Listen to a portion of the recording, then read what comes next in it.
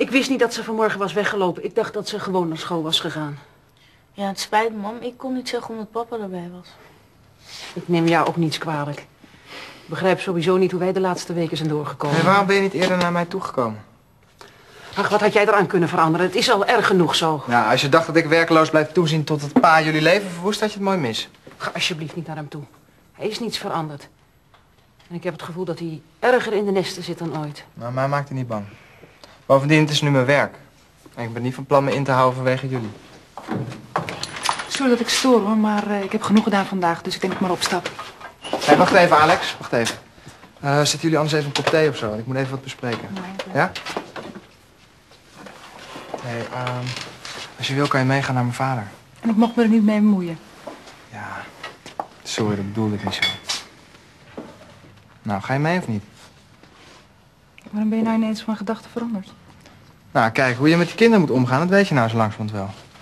Maar de ouders is gewoon een heel ander verhaal. Misschien is dat ook wel eens interessant om mee te maken. En eh, misschien vind je het leuk om iets over mijn achtergrond te weten te komen. Oké. Ja? Ja.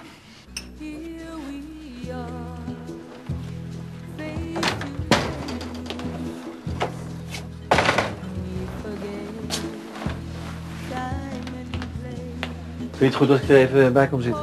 Natuurlijk. Doe wat je niet laten kan. Nog een bier? Ik betaal. Twee pils. Kom eraan.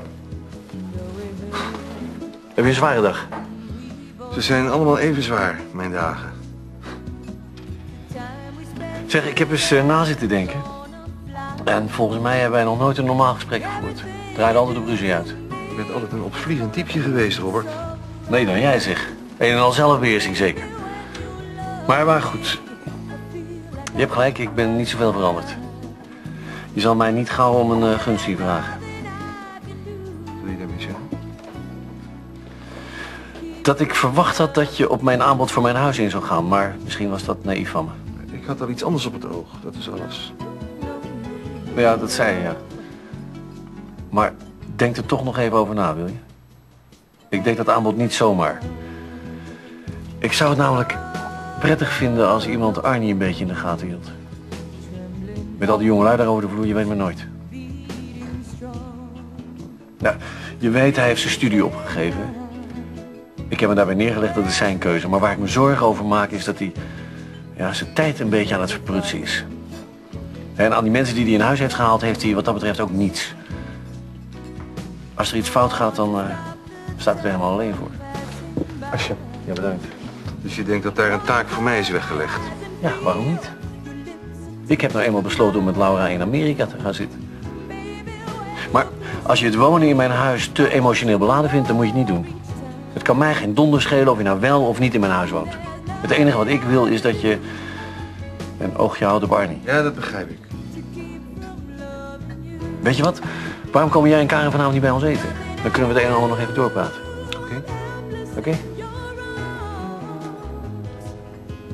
Eigenlijk niks veranderd, hè? Kletsen kan je nog steeds als de beste.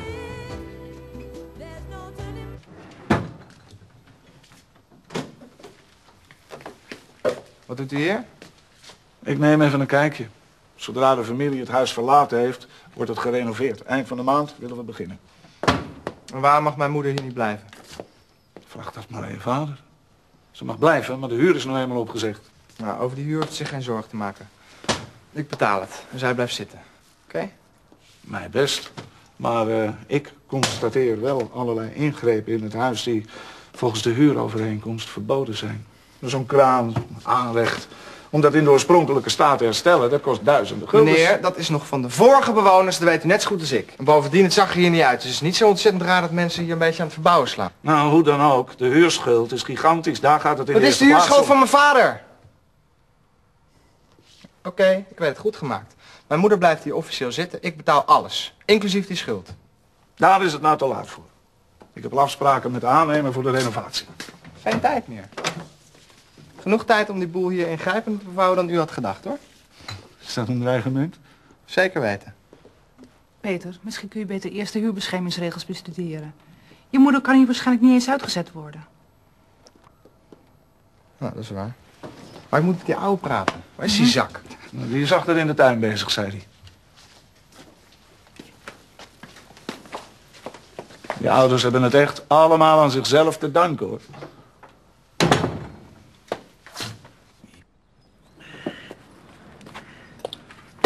Moet je hier? Ik wil met je praten. Laat op, ik heb geen tijd. Nou moet jij eens even goed luisteren. Zoek jij moeilijkheden, jongen? Ja, daar weet je alles van, hè, moeilijkheden? Peter, alsjeblieft. Het is dat je vriendin niet hierbij staat, jongen. Anders had je hier al lang niet meer gestaan. Oh nee? Nee. Jij raakt mij nooit meer aan. Is dat duidelijk? Dat zou ik maar niet doen als ik u was. Moet ik nu bang worden? Ja, we kunnen u zo bij de politie aangeven. Wat? Ik heb met uw dochter gesproken. Dat is wel het lafste wat er is, hè, je dochter mishandelen. Ze kunnen u zo oppakken. Denkt u dat? Juffrouw Huygens. Hoe weet u mijn naam?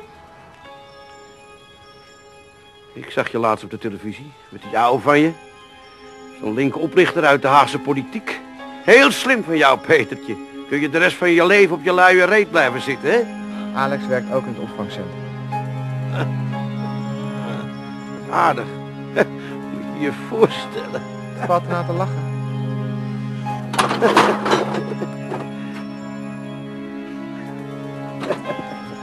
Hé, waar ga je heen? Dat gaat jou geen donder aan, jongen. Als ik maar weet wat ik ga doen.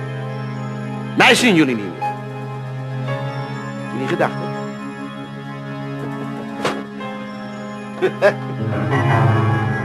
En dit was het hoogste nieuws van vandaag. Wat is liefde? En let op mijn woorden. Dit dames valt ook niet te stuiten. De girl next door. Het best bewaarde geheim van Popland. Het heb je wel te pakken, hè? Jezus, Annette, ik schrik me dood. Straks ligt dat blad in de winkels en dan denkt iedereen dat jij het gezongen hebt. Ja, wat dan nog? Ik hoop alleen maar dat het geen teleurstelling voor je gaat worden. Het lijkt me sterk.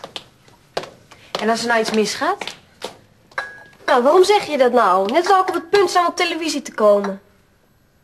Ben je jaloers of zo? Jaloers? Op die onzin? Het spijt me als je het zo opvat. Het klinkt misschien stom, maar ik vind het gewoon leuk om beroemd te worden. Kijk, op die manier gaan er misschien deuren voor me open die anders altijd gesloten zouden blijven. En als ik wat bekender ben met het plaatje, krijg ik misschien ook nog wel werk als actrice. Oké, het is jouw plaatje en niet het mijne, maar jij wilde er niet beroemd mee worden. Ik wel, wat is er nou mis mee? Niks. Ik gun het je van harte. Maar je moet de risico's niet onderschatten. Als ze je één keer laten vallen, dan kom je er waarschijnlijk nooit meer bovenop. Ik denk echt dat je gewoon jaloers bent. Volgens mij wil je het zelf ook wel, maar durf je gewoon niet.